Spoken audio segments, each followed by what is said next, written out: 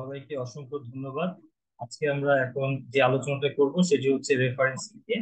এর আগে আমরা ফেস টু ফেস ক্লাস নিয়েছিলাম, তখন রেফারেন্সিং নিয়ে করেছি। আবার একটু রিক্যাপিচুলেশন করার জন্য এবং এরপরে আমাদের একটি কুইজ হবে। তো এই জন্য সবাইকে বলব কেয়ারফুলি একটু রেফারেন্সিং শব্দটা বা পরবর্তী আলোচনাগুলো একটু মনোযোগ দিয়ে শোনার জন্য।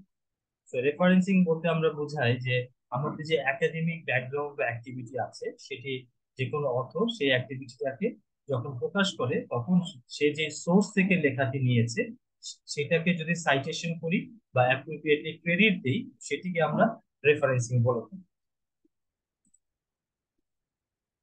রেফারেন্সিং এর যদি ডেফিনিশন করি সো রেফারেন্সিং ডেফিনিশন হচ্ছে এটি একটি প্রসেস বা মেথড যার মাধ্যমে একজন রিডার বুঝতে পারবে যে এই লেখাটি অথবা স্টেটমেন্টটি কোন সোর্স থেকে নেওয়া হয়েছে এবং সেই সোর্সের নাম যখন দেওয়া হয় তখন পার্টিকুলার সেই সোর্সটাকে অ্যাকনোলেজমেন্ট করা হয়। এখন প্রশ্ন হচ্ছে রেফারেন্সিং আমরা কেন করব? সো রেফারেন্সিং আমরা করব আমাদের যে অ্যাপ্রোপ্রিয়েট সোর্স আছে সেটিকে ক্রেডিট দেওয়ার জন্য। তাছাড়া এই ইনফরমেশনটা কোথা থেকে নেওয়া হয়েছে, সেই ইনফরমেশনটা যাতে রিডার বুঝতে পারে এর জন্য। এবং যে লিখেছে তাকে ক্রেডিবিলিটি অথবা তার আর্গুমেন্টের স্টেটমেন্ট দেওয়ার জন্য আমরা রেফারেন্সিং করে থাকি।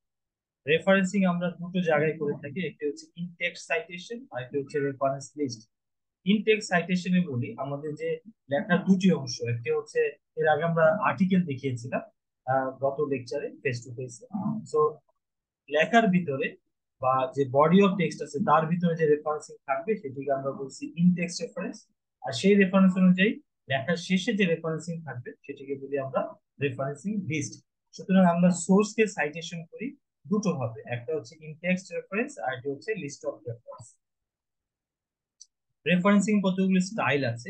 একটি স্টাইলকে বলা হয় অথো ডেট সিস্টেম এবং আরেকটি স্টাইলকে বলা হয় নিউমেরিক সিস্টেম অথো ডেট সিস্টেমের এক্সাম্পলগুলো হচ্ছে যেমন আমেরিকান সাইকোলজিক্যাল অ্যাসোসিয়েশন যেটিকে সংক্ষেপে এনপিএ স্টাইল বলা হয় আর আরেকটি হচ্ছে হার্ভার্ড রেফারেন্সিং স্টাইল আর একটি শিকাগো রেফারেন্সিং স্টাইল এসব রেফারেন্সিং স্টাইলে আমরা দেখব যে শুরুতে অথরের নাম তারপর ইয়ার অফ পাবলিকেশন আরেকটি ক্লাসিফিকেশন হচ্ছে নিউমেরিক রেফারেন্সিং সিস্টেম যেটি ভ্যানকোভার রেফারেন্সিং সিস্টেম থাকে।